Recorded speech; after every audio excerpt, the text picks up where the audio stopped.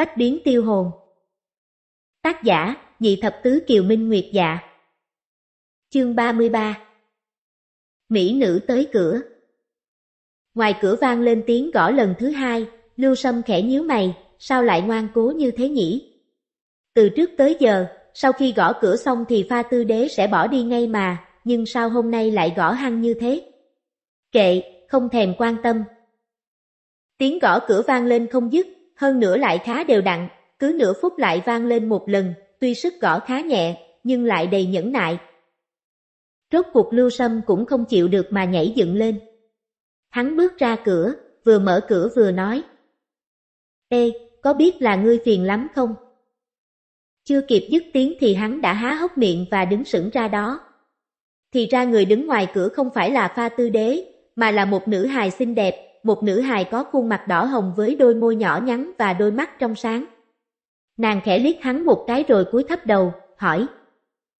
Ta đã làm phiền ngươi à? Tại. Thanh âm của nàng rất trong trẻo và êm tai. À, không có, không có đâu. Nhịp tim của Lưu Sâm bất giác không tự chủ được mà nhảy tưng lên. Ta tưởng người gõ cửa là nữ sinh ở sát vách, thật xin lỗi. Nữ sinh ở sát vách. Thiếu nữ kia liếc mắt nhìn sang căn phòng ở sát gần đó rồi lên tiếng. Chẳng lẽ ngươi không muốn mời ta vào ngồi một lát à? À, mời vào. Lưu Sâm vội vã nhường đường, trong lòng tràn đầy nghi hoặc. Thiếu nữ này trông rất mỹ lệ và đơn thuần, hương vị ở trên người cũng rất thơm, so với ba lệ thì rõ ràng là hai loại người khác nhau, nhưng chẳng lẽ vì nàng ta cảm thấy quá tịch mịch nên mới tìm đến phòng của mình. Nếu đúng là vì tịch mịch mà tới, vậy thì nàng ta phải đến đây vào buổi tối mới đúng. Đối diện với loại nữ hài như thế, hắn có thể cho phép mình to gan lớn mật hơn bình thường. Nhưng bây giờ là ban ngày, dường như có chút không ổn, điều này lại không liên quan tới việc to gan lớn mật bao nhiêu cả. Cửa phòng vừa được đóng lại, thiếu nữ liền lên tiếng. Ngươi viết nhiều thư cho ta như vậy, ta nghĩ, ta nghĩ nên đến xem một chút. Vừa dứt tiếng, khuôn mặt của nàng chợt ửng hồng ra đến mang tai. Viết thư. Trời ạ, đó là tập quán của thế kỷ trước rồi, bản nhân vừa rời nhà chưa bao lâu, và cũng chưa từng viết qua một bức thư nào, sao lại có lời gì mà không thể nói ngay trước mặt được chứ? Rốt cuộc đây là chuyện gì? Thiếu nữ Mỹ lệ này nói mình đã viết thư cho nàng, vậy là ý gì? Chẳng lẽ đây là một loại phương thức ve vãn mới, là một phương thức viện cớ giống như ở xã hội hiện đại, tỉ như là, tiểu thư xinh đẹp, ta cảm thấy nàng và ta là một đôi bằng hữu rất tâm đầu ý hợp, đại loại như thế sao? Ta đã nói những gì nhỉ? Lưu Sâm mỉm cười nhìn nàng, với một cô nương xinh đẹp như thế, hắn không ngại mở đầu cuộc đối thoại bằng một câu nói dối. Thiếu nữ lại đỏ mặt, nói những gì? Không phải đều là những lời dỗ ngọt hay sao? Hắn muốn mình lập lại cho hắn nghe đây mà, đừng hòng lừa người ta, mắc cỡ chết đi thôi. Thế rồi nàng vươn tay ra, chìa mảnh giấy màu hồng cho hắn rồi nói. Ngươi tự xem đi. Giọng nói của nàng có pha vài phần nũng nịu. Lưu Sâm chậm rãi mở mảnh giấy ra, tim hắn đập hơi nhanh hơn. Trên mảnh giấy là đôi dòng chữ thanh tú, tư á, hôm nay sau khi đọc được những lời hỏi thăm ân cần của ta, nàng có vui không? Chỉ cần nàng được yên vui thì ta cả ngày cũng sẽ vui lây. Lưu Sâm Tên của thiếu nữ này hiển nhiên là Tư Á rồi. Nhìn vào mảnh giấy, Lưu Sâm từ tốn lập lại. Tư Á, hôm nay sau khi nghe ta ân cần hỏi thăm, nàng có vui không? Lời của hắn vừa như tụng niệm, lại vừa như đặt câu hỏi, hoặc giả cũng có đôi phần thăm dò. Ta không biết. Tư Á cúi thấp đầu, cũng là lời đó, nhưng thoát ra từ miệng hắn lại không giống như hiển hiện trên mảnh giấy. Lời viết ở trên giấy khiến cho tâm tình của nàng kích động, nhưng khi thốt ra nó thì lại chỉ khiến cho nàng có một cảm giác đó là xấu hổ. Hai người cùng ngồi trong một gian phòng, nàng nghĩ mình có thể nghe rõ cả nhịp tim của mình nữa. Này, tới đây xem này. Lưu Sâm thoải mái nắm tay nàng kéo đến bên cửa sổ rồi nói tiếp. Đứng đây nhìn ra ngoài, trong phong cảnh rất đẹp đúng không? Lời này thốt ra vốn chỉ là để đánh lạc hướng, nhưng khi nó lọc vào tai nàng thì sao lại giống với những lời ở trong thư như thế? Nàng rất muốn nói, không cần. Nhưng nàng chưa kịp thốt thành lời. Nàng muốn rút tay mình ra khỏi tay hắn, nhưng rốt cuộc vẫn bị hắn kéo đi. Khi nhìn ra ngoài, nam nhân kia đứng khá gần với lưng nàng, cả hô hấp của hắn mà nàng cũng nghe được khá rõ nữa. Nàng xem kìa, có phải là đẹp lắm hay không?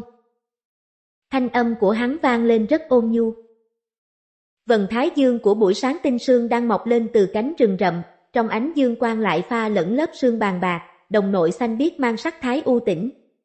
Cảnh sắc xanh tươi làm rung động lòng người. Tư Á hít một hơi thanh khí đến từ rừng rậm, rồi đáp. Đúng vậy, đẹp quá. Ngôn ngữ không quá nhiều, hoặc có lẽ lúc này cũng không cần phải nói nhiều. Tư Á nhẹ nhàng quay đầu lại.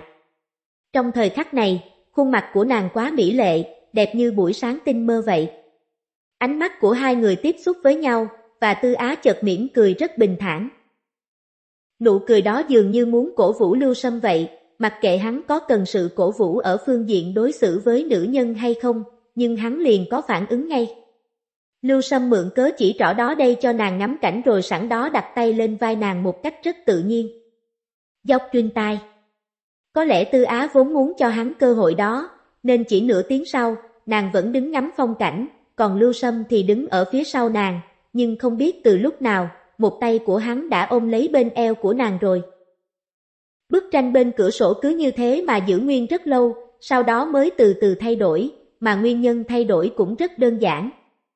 Đó là vì Lưu Sâm có một cái tật, trong tình huống đang ôm nữ nhân ở trong tay, vậy thì cánh tay đó của hắn sẽ không tuân theo quy củ. Cho dù hắn có miễn cưỡng tuân giữ quy củ, vậy thì cũng không giữ được lâu, tất nó sẽ thay đổi trong thầm lặng. Mười phút trôi qua, tư thế đứng của hai người vẫn giữ nguyên, nhưng khoảng cách thì đã rút lại gần rất nhiều. Chẳng biết từ lúc nào mà Tư Á đã dựa vào lòng hắn, tay nàng cũng đã ôm lấy ngang hông của hắn. Ánh mắt ngắm nhìn phong cảnh của nàng cũng thay đổi nốt, bây giờ nàng không nhìn ra bên ngoài nữa, mà lại nhìn thẳng vào khuôn mặt của Lưu Sâm. Lưu Sâm, ngươi thật sự thích ta sao? Ta thích nàng. Câu trả lời như vậy, coi như là hắn không nói sai. Tại sao? Không có tại sao cả. Đây vốn là một câu hỏi không có đáp án, mà người hỏi cũng chẳng phải thật sự muốn tìm hiểu nguồn cơn, bởi vì nếu ai muốn đi tìm đáp án cho câu hỏi đó thì đúng là một loại người ngu xuẩn. Lưu Sâm ghé mặt lại gần nàng rồi hỏi. Còn nàng, có thích ta chăng? Tư Á nhẹ lắc đầu. Ta không biết. Tâm tư của thiếu nữ là vậy đó, bao giờ cũng rất khó dò. Có lúc chính bản thân nàng cũng không biết rõ được, mà nàng chỉ biết trong đời mình chưa có thời khắc nào như bây giờ, vừa vui sướng lại vừa đơn thuần, do đó mà nàng không muốn nghĩ đến điều gì nữa cả. Hai người kề mặt rất gần nhau để trò chuyện, cả tiếng hô hấp cũng nghe rõ như trống trận. Hơi thở của nàng thơm ngát như lan như xạ, còn Lưu Sâm thì đang áp mặt mình đến càng lúc càng gần hơn. Chẳng biết từ lúc nào, Tư Á đã nhắm chặt hai mắt, đôi môi của nàng cũng nóng trần lên, thì ra là môi của hắn. Không gian trong phút chốc như lặng im, hai đầu lưỡi chạm vào nhau triền miên. Đầu lưỡi của Tư Á vừa thơm vừa mềm, nó giống như một tiểu tinh linh ở trong miệng vậy, tuy rằng rất có hứng thú với khách nhân, nhưng nó lại không dám tới gần. Đối với những lần mời gọi của khách nhân, nó đều có phản ứng, nhưng khi vừa chạm nhẹ thì lại rút về, và cứ mỗi lần rút về thì nó lại bị khách nhân nắm giữ lại, khuôn mặt của Tư Á sớm đã đỏ ửng ra tới mang tai, và hô hấp của nàng cũng bắt đầu dồn dập hơn. Trong vấn đề cư xử với người khác phái, Lưu Sâm và Tư Á khác hẳn nhau. Tư Á có thể để hắn hôn mình nhanh như vậy, đó là nhờ hơn 10 lá thư tình kia rất nhiều. Trong gần 20 ngày qua, trong lòng nàng vẫn cứ mập mờ bất định, trong sự chờ mong lại có sự tránh né. Hôm nay nàng đến gặp hắn vốn là muốn có một sự kết luận ối tâm sự ở trong lòng mình. Hắn muốn hôn nàng, nàng không thể cự tuyệt. Nhưng khi tay Lưu Sâm vừa đưa về phía quả tuyết lê thì lại khiến nàng sợ hãi. Tư Á cản tay hắn lại, rồi chậm rãi mở mặt ra. Đừng vậy mà. Khí hậu hôm nay rất tốt, nàng không cảm thấy rằng khí hậu ở trên giường rất tốt hay sao? Thanh âm đầy mê hoặc của hắn nhẹ nhàng vang lên bên tai nàng. Nói gì đó? Tư Á khẽ liếc hắn một cái, rồi tiếp. Chúng ta sau này đừng gặp mặt nữa. Tiến độ quá nhanh tất sẽ khiến cho tình cảm biến chất. Nàng là một nữ hài theo đuổi ý cảnh, nên nàng thích dựa vào lòng hắn mà ngắm phong cảnh hơn. Trước thần thái nửa hờn nửa giận của nàng, Lưu Sâm cảm thấy dường như mình cũng thay đổi theo. Chỉ cần nàng không câu nệ, vậy thì hắn sẽ không phản đối việc cư xử ôm nhu với nhau, rồi ôm nhau ngắm cảnh, thỉnh thoảng lại hôn môi đắm đuối, rồi trong lúc nàng không phòng bị, hắn sẽ kiểm tra vài vị trí mẫn cảm của nàng, sẵn đó để nàng tạo cơ hội cho hắn được ngắm cho đã mắt. Thì, như vậy cũng tiêu hồn lắm chứ. Tư Á không phản đối ý kiến đó. Trong lần thứ hai hôn nhau nồng nhiệt, Tư Á dùng tay cuốn lấy cổ hắn. Khi hai đôi môi tách rời nhau ra, nàng ôm cổ hắn và nói. Lưu Sâm, ta nghĩ là ta thật sự thích ngươi. Đương nhiên là thích hắn, nếu không thì nàng đã không chấp nhận cho hắn hôn mình rồi. Ta. Cửa phòng đột nhiên vang lên một tiếng trầm cắt ngang lời nói của Lưu Sâm.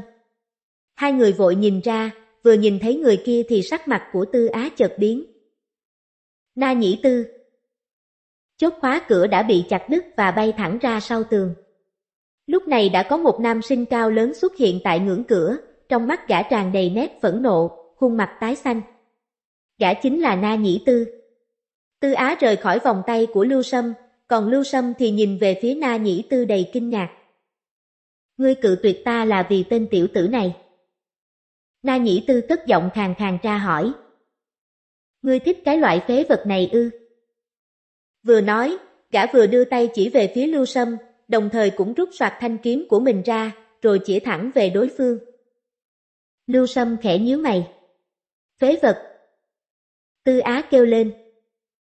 Ta thích hắn, vậy thì sao? Ngươi quản được à?